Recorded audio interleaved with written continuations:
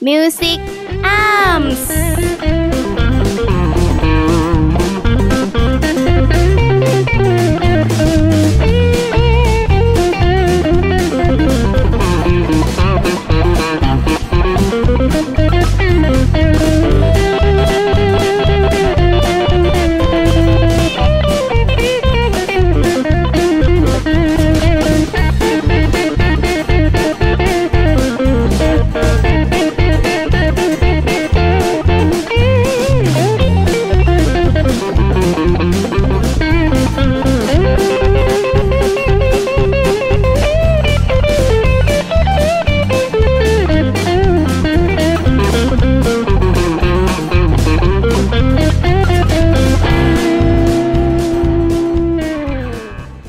วัสดีคสวัสดีครัรับบกลับมาเจอกับเราสองคนอีกแล้วในช่วงรีวิวสินค้าครับอยู่กับผมไก่พิชามวันนั้นรู้สึกอาร์มครับ ตามที่เราได้บอกกันไว้เมื่อคลิปที่แล้วอ่าว่าวันเนี้ยเราจะมี Fender เป็นภาคต่อ Fender ใช่ครับ Performer กับทรงเทเล นี่เลยโชว์หน่อยครับอาจารย์ครับอื้อหือมสีสันโอ้ยนะฮะแหวะนี่เลยฮะ Performer Series แต่ตัวนี้เป็นทรงเทเลอ่านะครับผมแน่นอนใครที่ ชื่นชอบกีตาร์สัญชาติอเมริกากีตาร์เฟนเดอร์ที่มีความคลาสสิกอ่าแล้วก็ราคาไม่แพงครับอาจารย์ นี่เลยฮะ โอ้โห นี่ แนะนำเลย โดยส่วนตัวอาจารย์ก็มีเทเลอยู่ ใช่ครับใช่นะครับแล้วส่วนตัวผมอะผมก็ชอบเทเลเหมือนกันนะฮะตอนเด็กชอบดูเทเลเทเลทับบี้ Tinky Winky, Tinky Winky. Dipsy, La La, La la Ho. อะโอเคครับ เดี๋ยวเรามาเข้าเรื่องสเปคกันเลยดีกว่าว่า Fender Performer Tele ตัวเนี้ยมีสเปคยังไงบ้าง บอกไว้ก่อนเลยว่า ราคาไม่แพงสำหรับคครับนที่ชอบกีตาร์สัญชาติอเมริกาที่ราคาไม่ถึงครึ่งแสนอะอืมพูดไว้เลย แล้วก็ชอบงานวินเทจชอบเสียงอุ่นๆหนาๆและที่สำคัญตัวเนี้ยมันมีจุดเด่นที่โทนที่ปุ่มโทนเนี่ยแหละ ตรงนี้ใช่ครับอาจารย์ แต่เดี๋ยวมันพิเศษยังไง เดี๋ยวเรามากระจ่างกันในช่วงต่อไปแล้วกัน ครับ อะเดี๋ยวเรามาว่ากันด้วยเรื่องสเปคกันก่อนดีกว่าครับอาจารย์ เป็นยังไงบ้างครับตั้งอ่าแต่ตัวนี้นะครับไม้ body alder โอ้ตามสไตล์ของเทเลเลยครับนะฮะอื้อหือเห็นลายเส้นชัดเห็นเจนลายมาก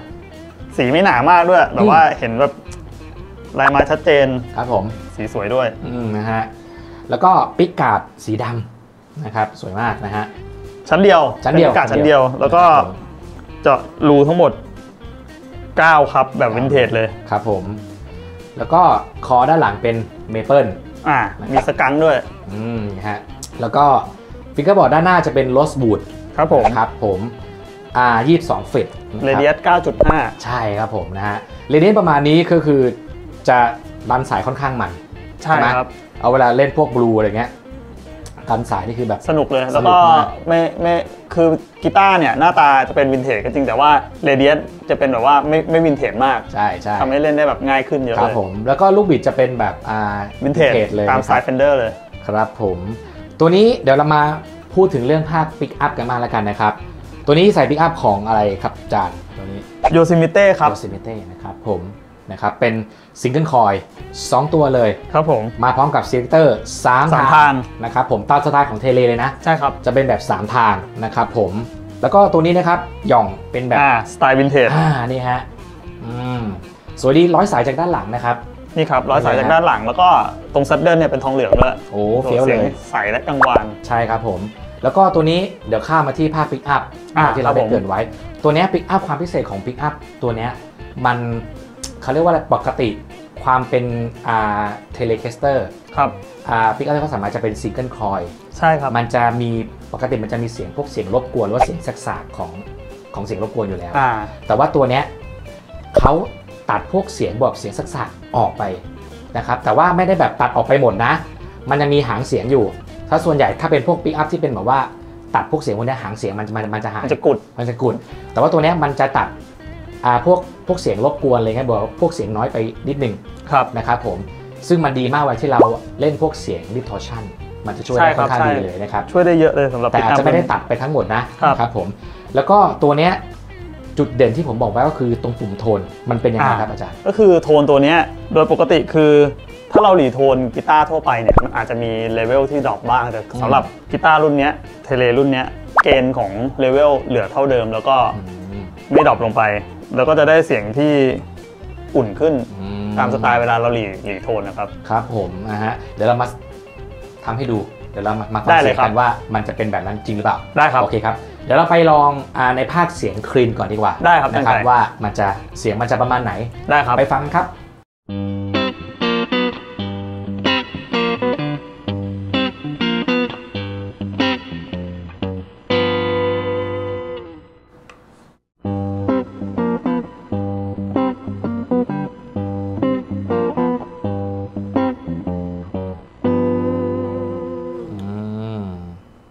มาดูตัวมิดกัน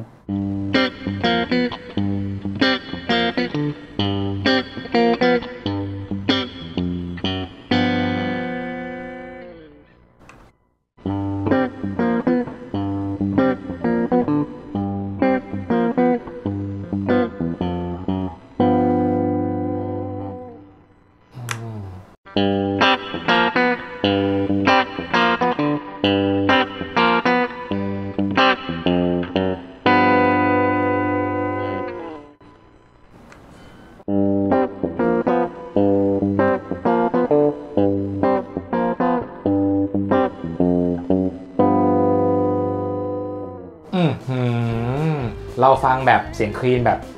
ตอนที่ยังไม่หรีโทนกับหรีโทนกับปิดโทน คือ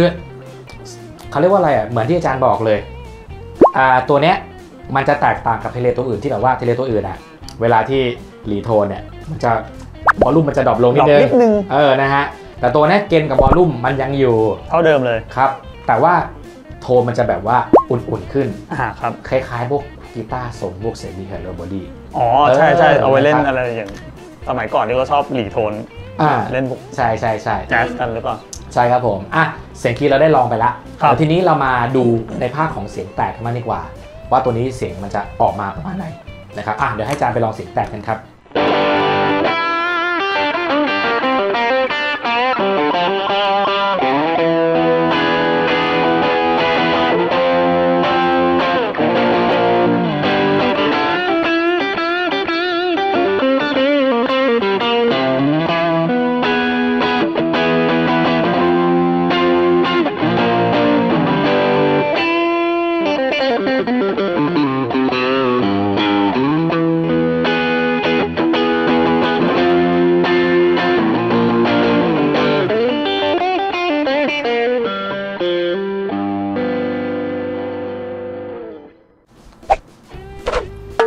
จารย์ครับโอ้โหเสียงแตกเมื่อกี้ขยี้กันมันเลย มันดีครับ เออนะลักษณะของของของเสียงเวลาที่อาจารย์เล่นเสียงแตกอาจารย์รู้สึกว่ามันเป็นไงบ้างเรื่องโทนเสียงมัน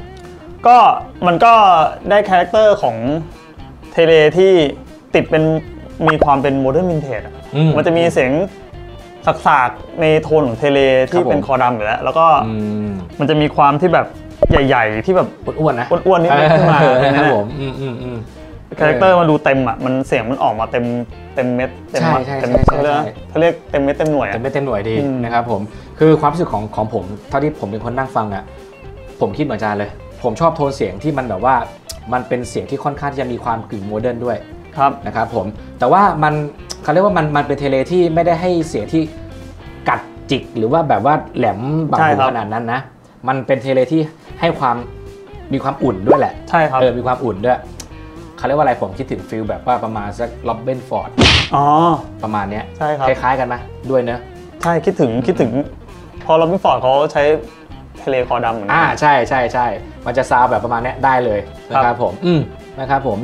ตัวเนี้ยโดยสรุปโดยรวมแล้วแล้วเนี่ย เท่าที่ผมจากสเปคจากเลยผมว่าตัวเนี้ยเป็นTele ที่ค่อนข้างน่าสนใจเลย ใช่ครับ กับในราคาที่ 40,000 ต้นๆนะครับผม นะฮะใครที่ชื่นชอบเหมือนที่ผมบอกนะฮะกีตาร์ Tele หรือว่ากีกีกีตาร์ที่ให้เสียงที่ค่อนข้างอุ่นๆหนาๆนะครับแล้วก็แบบยังมีความเป็นจิ๊กโก๋ที่แบบว่าอืมอืมอืมไม่ต้องแบบคือเหมือนเอ๊ะลังเลจะวินเทจดีไหมแต่ก็ยังไม่อยากจะวินเทจมาก ตัวนี้ก็มีความที่แบบมีความ modern ด้วยของ radius ของมันนะใช่ครับบวกกับไอ้ที่เป็นหย่องแบบวินเทจอะใช่มันผสมใช่กันหลาย ๆ อย่าง มีความรู้สึกว่าแบบ เออมันยังเล่นอะไรได้กว้างขวางอยู่ใช่ใช่ครับ เรื่องเรื่องคอนี่ก็ก็ถือว่าเล่นง่ายด้วยเล่นง่ายมากนะครับผมอืมนะฮะอะใครที่สนใจนะครับก็ลองเข้ามาสัมผัสนะครับลองเข้ามาทดลองเล่นได้ที่ Music Arm ทุกสาขานะครับครับผมแล้วโดยโดยเฉพาะสำหรับคนที่ชื่นชอบ Teleใช่สีแบบนี้เสียงแบบนี้ราคาแบบนี้ ผมว่ามันเป็นราคาแล้วก็เขาเรียกว่าอะไรสามารถจับต้องได้ใช่ครับในงาน USA เออนะครับอะวันนี้ผมและพี่แนทลาไปก่อนแล้วกันนะครับ เดี๋ยวเทปหน้ากลับมาเจอกับเราสองคนอีก ครับกัผม สินค้าดีๆจากทางร้าน Music Arm วันนี้ลาไปก่อน สวัสดีครับ สวัสดีครับ Music Arms